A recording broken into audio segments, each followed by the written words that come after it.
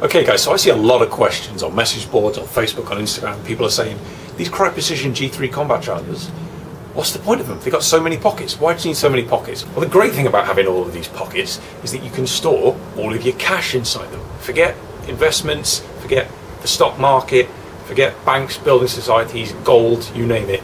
These bad boys are the way forward. You can store money in these pockets. You can store cash in the back pockets. The adjustment for the knee pad gets in the way a little bit, but you can store roll money in these front pockets.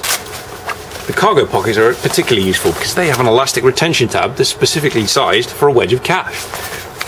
And these handy ankle pockets can even store the travel money that you don't really care too much about.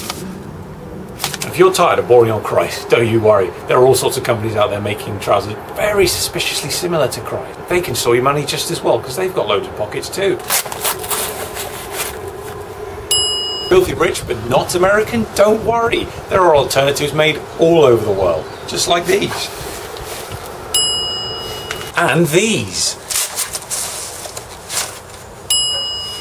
So forget about Grandma's dusty old mattress. The solution to your money storage problems, Crye Precision G3 combat trousers.